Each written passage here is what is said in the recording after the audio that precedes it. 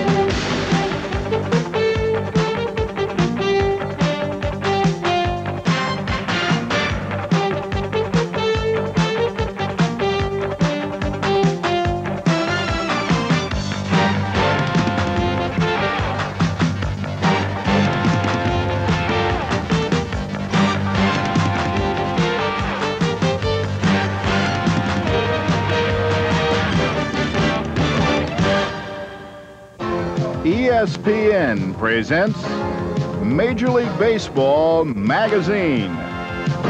This week's cover story the school that spawned a generation of baseball broadcasters, and then some. Is Syracuse the cradle for sportscasters? Yes. We'll introduce you to baseball's most off the wall rookie. Just where does he come from? I don't know, some donut factory on another planet, I guess.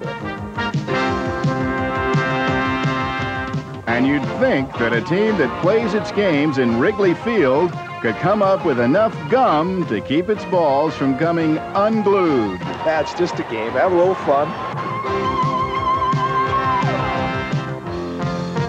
This is Warner Fusselle for Major League Baseball Magazine. Presented by New Wild and Mild ranch flavored Frito brand corn chips. Rustle up some. Last week, us Fritos rustlers came upon a different breed. Ranch Fritos. They looked real wild, but they was actually sort of mild.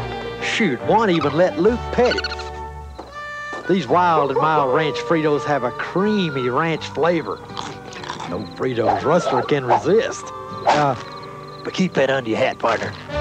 Wild and mild ranch flavor Fritos corn chips. Rustle up, son. Konica knows to keep a business running smoothly, you need teamwork, timing, and communication. You can't afford to miss a beat. I'm missing page two. Your systems No problem. need to be efficient as well as simple, fast, and affordable. Hello? We've lost some music. Like Konica fax machines. They deliver on the spot to keep your business performing. When overnight just won't do, Konica facsimile saves the day. High school is just like a memory because. So I went. Oh, I went waiting to see Caroline, right? No. She wasn't there. Every time I went to the prom, the girl was taller than me. I don't want to talk about it. No, I said I'd like to find a dress. And she said, is this for your daughter or for your mm. wife? It's for my what? you, know, you know why we don't talk about women? You only talk about things you know about, right? Levi's 100% cotton Dockers. If you're not wearing Dockers, you're just wearing pants. Dog pile on John! Yeah!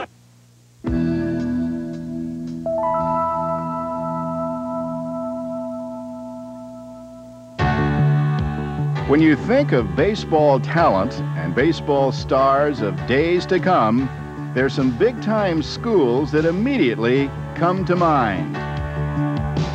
But if you're talking baseball announcers, one school stands alone. Syracuse University and the Newhouse School of Public Communications, the cradle of baseball announcers. Quite honestly, it's probably either the best or the best of two broadcast journalism programs in the country. And that alone attracts a large number of students. And since it is the basis for becoming a good sports play-by-play person or a good sports anchor on television, we attract a large number of sports people as well, people with a sports interest. Syracuse is famous for its running backs who wore the number 44. But the list is even longer for Syracuse sportscasters, starting with the venerable Marty Glickman. success breeds success, and it helps. Uh, it you know feeds on itself, if you will, self-perpetuating. And I think the uh, broadcasting school at Syracuse probably, in the same manner, is. Uh, has done the same thing, where you see uh, young guys see the successes of guys who have come out of Syracuse. They say, gee, that must be the place to go. I had two passions, broadcasting and sports. And I read in a Nick yearbook that Marty Glickman and Marv Albert had both attended Syracuse. I subsequently found out that so too had Len Berman and Dick Stockton, Andy Musser, Hank Greenwald, but it was because of the fact that Glickman and Marv had gone to Syracuse that I became interested in it. I had always heard that they had a good broadcast program up there. I had heard that even though there weren't the string of announcers that we now know today, that it was a good place to go to learn the broadcasting industry. Plus, I wanted to get a well-rounded education. In those days, you couldn't major in radio television alone. You had to have a dual major, and mine was philosophy. I mean, I've never really used my philosophy too much, except maybe in the late innings of a game where the Phillies were trailing, but uh, it was nice to have that background, and I think a well-rounded education always proves beneficial. Hello, everybody, and welcome to Blue Jays Baseball. I'm Rick. Sportscasting today is a highly specialized field. And this fall, Syracuse has responded with the first ever class that deals specifically with sports broadcasting. Okay, what does everybody think of that one?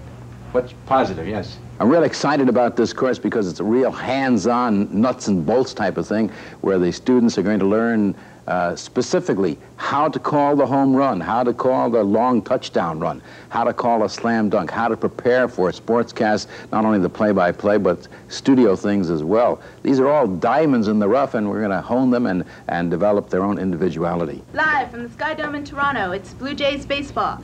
Students can't get by just reading prepared scripts. They have to know their sports. Professor Marinas just uh, rocks us on, on our knowledge and our facts and uh, drills us every day to be right on top of current events and sports. And he gives us practicing time to, to go over stories and we point out what things we've done wrong and what things we've done right and how we can improve.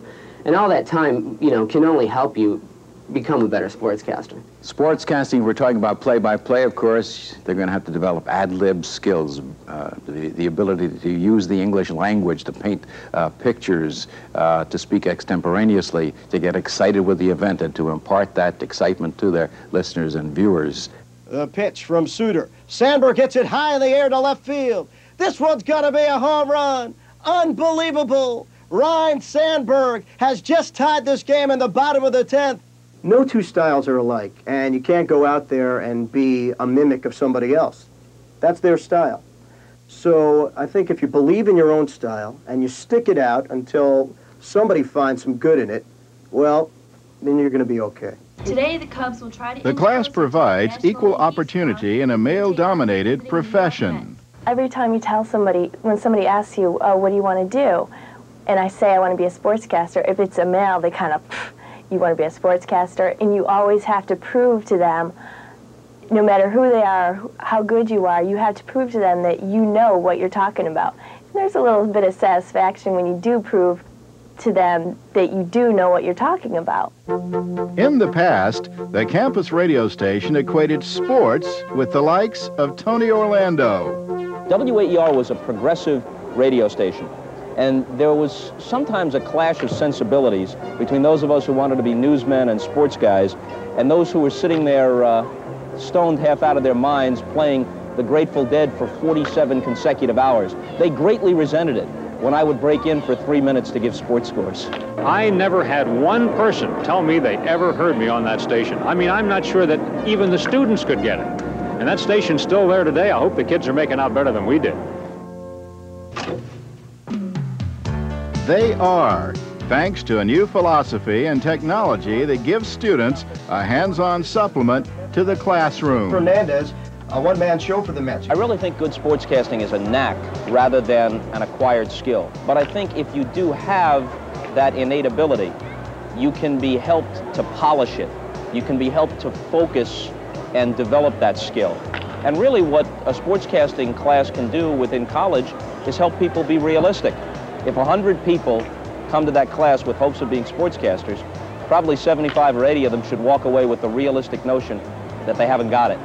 And then the other 15 or 20 can go on about trying to polish the natural ability they have.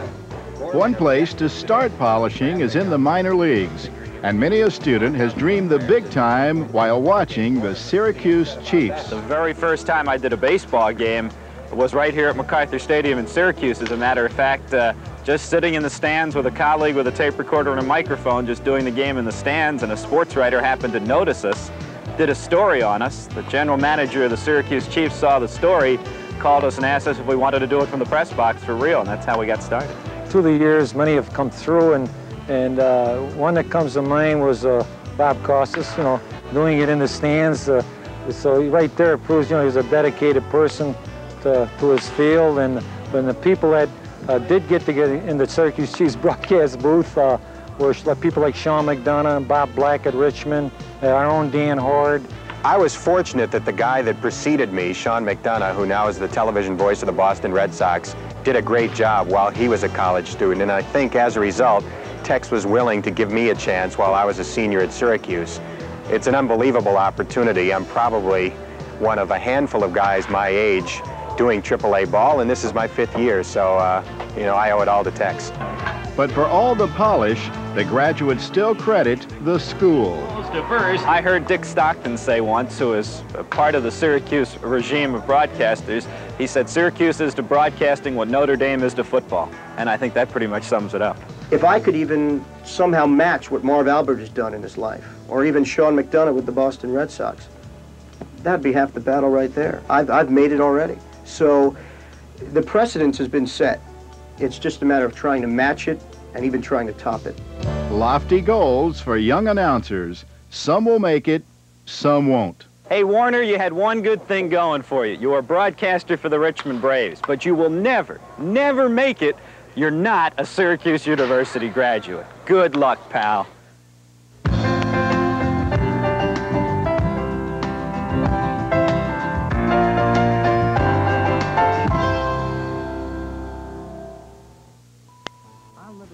Buying jewelry for me is a personal thing. In the news, Cubs win, Cubs win, which meant they had a lot of time and gum on their hands while playing out the string. They see the baseball on the hit somebody in the head. Drops right on Shawon Dunston's head. Well, you can have a little fun when you've wrapped it up, although I don't think Dunston thinks it's all that much fun. As any division champion will tell you, knowing when to have fun is all in the timing. How long do you suspect it takes him to get from the bullpen to the mound? 11, 11 1. 11 1, that technical about it? Well, let's take a look. We have the gun on him. Keep in mind, Johnny said 11 1. Well, 11, 11 1, somewhere close. Look at that, oh he gets him. oh, my goodness. That that would have been a world record, a new world record, but it is wind aided. When a player checks his swing, the catcher has the right to ask the base ump if he went around. But when it's a catcher who is hitting, that scenario can be a lot less appealing. Here's an interesting I've, I've never seen that. Valle, the catcher, who is hitting now, asked the home plate umpire to check to see if he swung because the home plate umpire, Voltaggio, said he did. well, that's too late then. Valle wanted to appeal to the first base umpire, umpire to change the strike call. Come on, Dave. That's work. not how it works. But there's nothing like the mass confusion these folks can create. Well, there are all, always a lot of interesting people in California that come to the games, and that is uh, that's Alan Alda and Indiana Jones and President Bush. And the bat And thing. they're here. And the bat thing.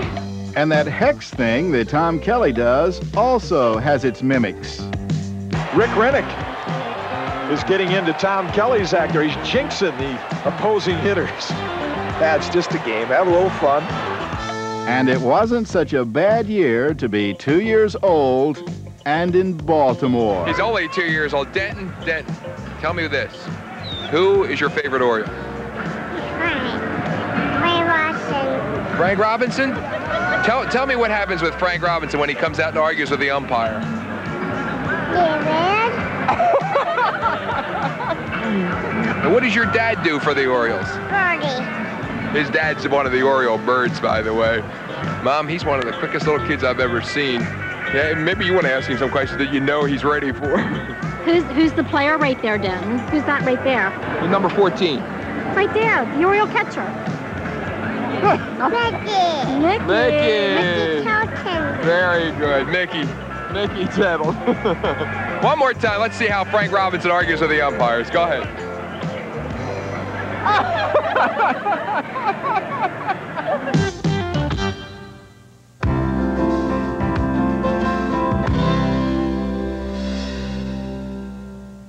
A poet, a singer, a musician, a pitcher. He's, he's kind of a weird character, you know. He's a little bit of everything. One day he'll come down really quiet, and the other days he'll come down yelling his poetry, the skies are blue, and start yelling. So he's a, as a roommate, he's very strange. You don't even have to tell me his name. I know who you're talking about right now. Wetteland has got to be one of the wackiest people I've ever met in a game, and it's great to find somebody else in this game that can act like that. Rookie John Wetteland has a deadpan delivery and a cosmic understanding of the balls and strikes of life. I like to enjoy a lot of things. I think that, that uh, it all helps. As much knowledge as I can gain about anything um, helps me become a more complete person. Um, very seriously, that's, that's, that's the way I am. And a lot of that encompasses being a little bit out there. Uh, I'm not afraid to tread on new ground. John's a pitcher by trade, but while out there, he's managed to strum up a few other pursuits. I picked up guitar about four years ago and just started playing around with it. I'm self-taught, you know, uh, nothing uh, really special. A lot of a lot of guys get a kick out of it uh, about the stuff I play. I play anything from classical to punk rock, and you know, just I have a good ear. I was blessed with a good ear, and so I was able to do it. He claims he plays uh, Stairways to Heaven, but to tell you the truth, it could be any song. I, you know, he just plays it loud. That's all I know. John also gets a lot of feedback from his poetry. Here, then, is a sample. I lie awake, thinking of the void that I cannot control. I beckon the void, fulfilling a thought, yet it does not answer in presence or being. Staring blankly at a sheet of music, being unable to read it, knowing that it's there and exists, yet not hearing a sound. My thoughts dwell in lingering sadness, and yet complete happiness prevails beneath, life itself becoming the altar of sacrifice. And though I understand, still I lie awake. It's only natural that John would make a lot of friends along the way, including an eight-legged one in the bullpen. I saw the spider there, and I asked how it was doing, and, and uh, asked if it was hungry, and went and caught a fly and gave it to him, and found out about the eighth inning. I was back down in the in the dugout here, but found out in the eighth inning that he finally went for it. So I was happy that he ate. This is where I used to sit in the bullpen. That little friend up here in the corner, a little spider. Actually, he's a large spider. And it doesn't look like he's, he's in right now, because they probably they probably painted right over it. John's approach might seem strange in the baseball world, but there's a method to his madness. I believe that, that it helps it helps me have a good release. It's a, it's a positive release. It's a healthy release for uh, the stress and the pressure of the game.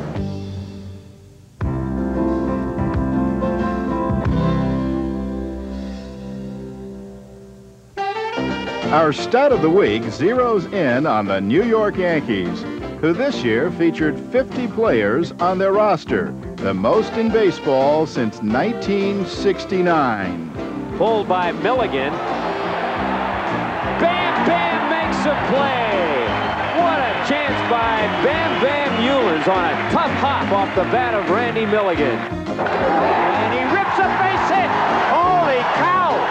he broke in just the way he wanted. Well, he, he feels uh, very, very good now. When you get that first base hit in the new uniform, you can really loosen up and go on and have a good year. The problem with using 50 players when you've already retired 12 numbers is that sooner or later, your numbers are up.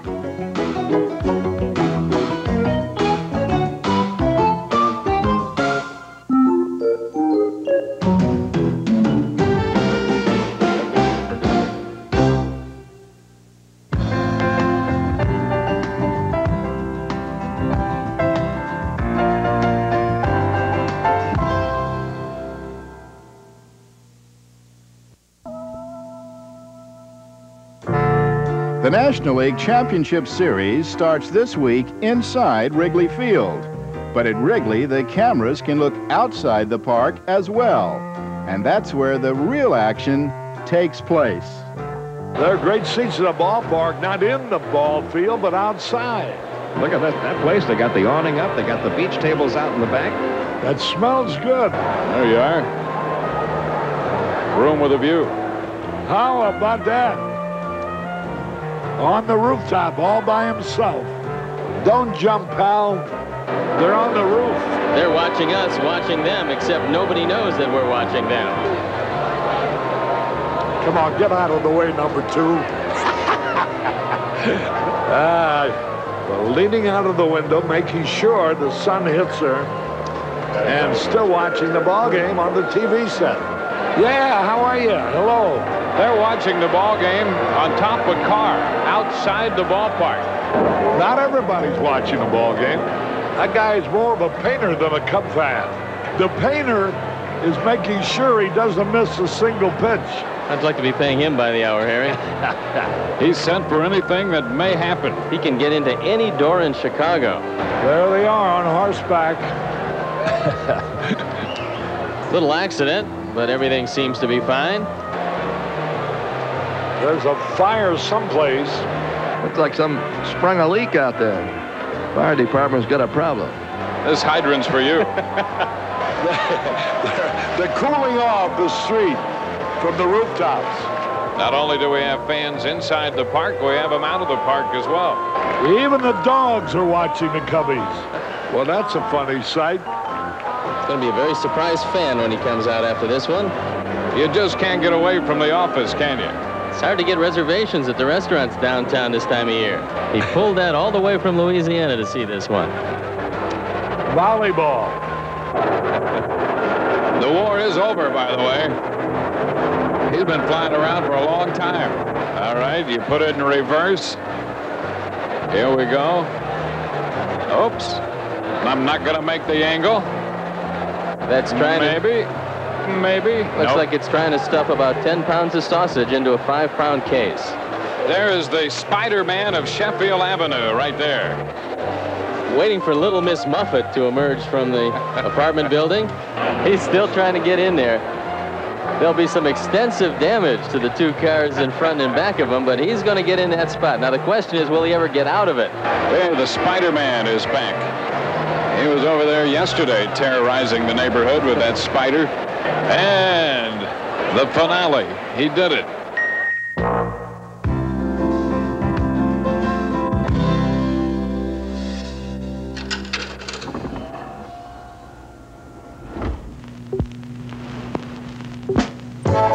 There's an old nursery rhyme with a modern day ring. The Cubbies may roar and the Blue Jays may sing, and though Stewart is nimble and Canseco be quick, they can't get the jump on the Giants at Candlestick. I've got a good reason why I'm feeling so good. The Giants are home today, and they're winning like I knew they could. On the, the home of the Giants, that's where the hopes run high. The home of the Giants, where Frisco's gonna show the world. I'm taking my chances on skipping work today. If the boss ever catches me, I'll have the devil to pay at the, the home of the Giants. That's where the hopes run high.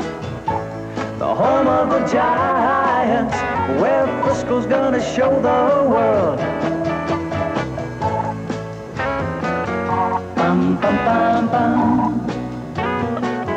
Bum bum bum bum. The home of the Giants, where Frisco's gonna show the world. Bum bum. Bum